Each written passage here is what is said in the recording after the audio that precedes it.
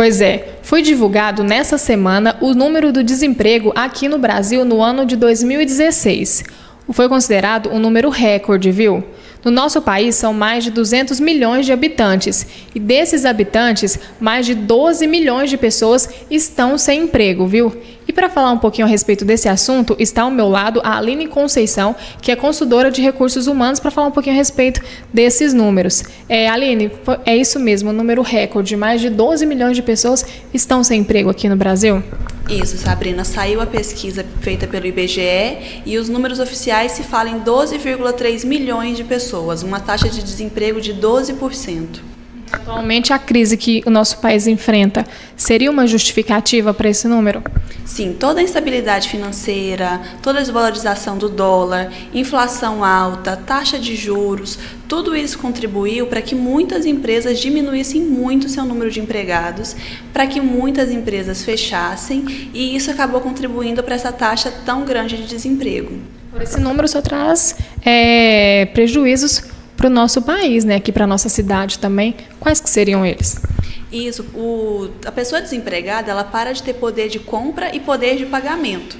Então a gente cresce o número de inadimplentes também, porque a pessoa para de ter renda para sanar com seus dividendos, com as suas dívidas. Então isso acumula no Brasil, essas pessoas compram menos, consomem menos, o que faz com que outras empresas entrem no mesmo ciclo vicioso, começam a ter menos, menos receita e com isso também diminui seu número de empregados ou chegam a fechar.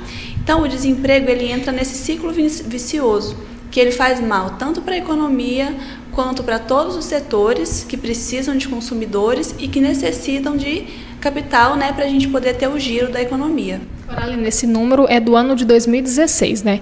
No ano de 2017, pode aumentar também? Como que vai ser?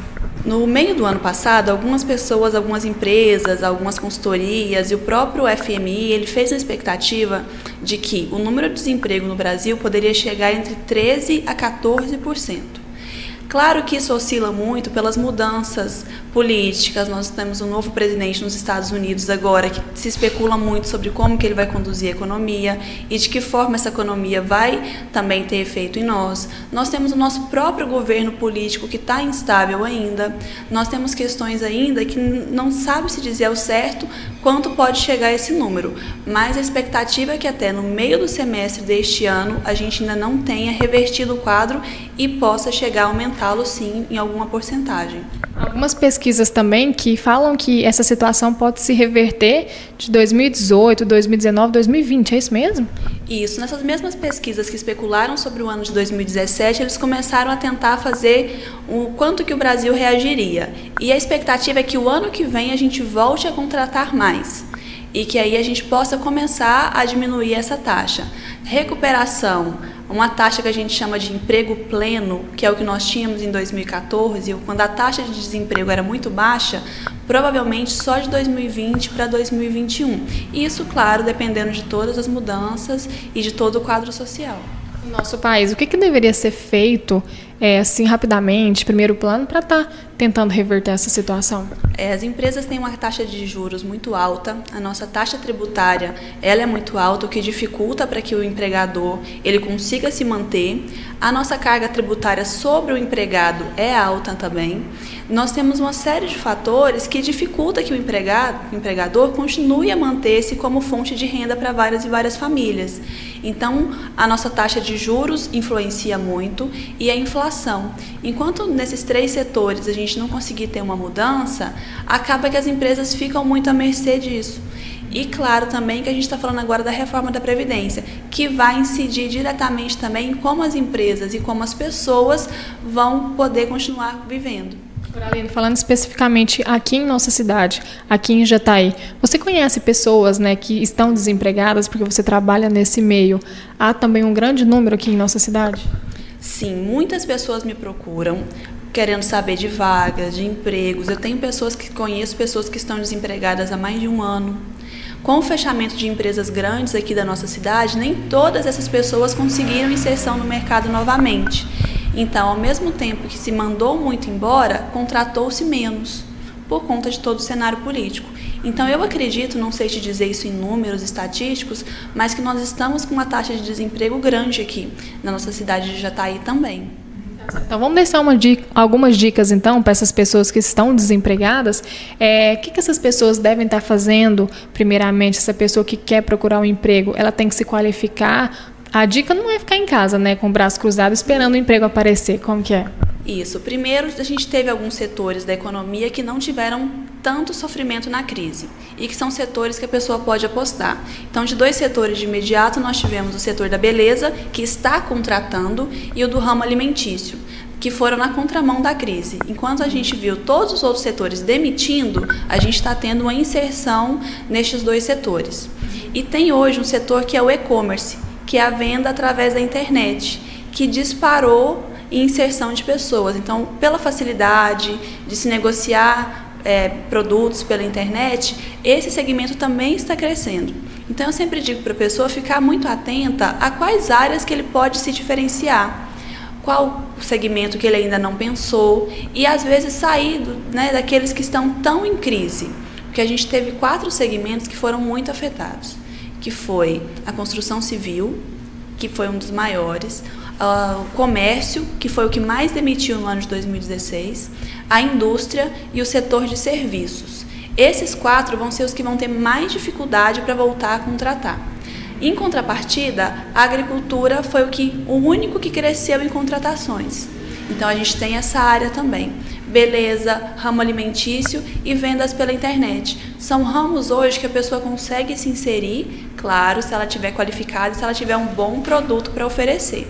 E aí essa é a dica que eu dou, às vezes olhar para outras áreas que não foram tão abaladas. É importante também a pessoa se qualificar, porque você trabalha no Senac, né? E lá tem vários cursos onde as, as pessoas podem estar tá fazendo, né? É, se qualificar também seria uma boa dica nesse tempo que essa pessoa está parada. Claro quem se diferenciar vai ter mais chance. Aquele que sabe as mesmas coisas que todo mundo, ele vai entrar na grande massa dos desempregados e vai ter a mesma coisa para oferecer do que os outros. Quando a pessoa está qualificada, quando ela se qualificou no ramo correto, quando ela viu a oportunidade naquela área que ainda está oferecendo emprego, ela sai na frente. Então, cursos, programas de formação, a pessoa tem que estar o tempo todo se qualificando e olhar para esse mercado e ver uma área que ela pode se qualificar e ter retorno também. Eu e o Fábio, a gente anda muito na cidade, né? A gente vê muitas pessoas que estão abrindo um próprio negócio, nem que seja um espetinho na porta de casa. As pessoas estão vendendo bolos, tortas pela internet. Seria uma boa opção também essa pessoa estar tá tentando abrir um próprio negócio? A gente teve um crescimento grande agora de 2016 para 2017, porque os desempregados eles têm que continuar vivendo. E aí eles tentam outras alternativas. Então a venda de roupa por internet, de alimentos, o próprio espetinho que a gente fala, ele é uma forma da pessoa conseguir rendimento sem estar no emprego formal. Ele é muito válido desde que a pessoa trate isso como um negócio não seja o bico ou não seja uma coisa que eu faço só para ter um dinheirinho. Porque esse é o problema das pequenas empresas. Elas acabam fechando por não se profissionalizarem. Tem pessoas que ganham mais vendendo bolo e torta do que quem está com salário fixo assim, de carteira assinada. E ela tem que ver isso como de fato uma profissão. Então a pessoa quer investir no próprio negócio, ótimo. A gente tem várias alternativas. Só que trate isso como uma profissão, vá se qualificar, porque a administração empresarial não é fácil. Né? Ela tem que buscar um diferencial e ter qualidade no seu produto. Se ela conseguir fazer isso tudo, tem grande chance de ser mais um empresário aqui na nossa cidade, no nosso país. Então, abrir um próprio negócio está sendo a moda agora desse ano. Isso, a gente está tá vendo porque as pessoas têm que sobreviver. E isso é o que move o brasileiro sempre. As pequenas empresas, elas sentem menos a crise às vezes, porque elas não têm funcionário, a carga tributária às vezes é menor. Então ela continua funcionando mesmo em tempos de crise.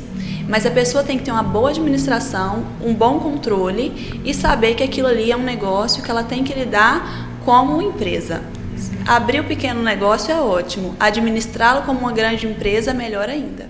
Tá Muito obrigada pela participação. Aline Conceição, que é a nossa parceira aqui da TV Jataí, que falou um pouquinho a respeito do, da taxa de desemprego aqui em nosso país, que no ano passado mais de 12 milhões de pessoas ficaram desempregadas. E tomara que essa situação se reverta, né? Que em 2017 não tenha o mesmo número.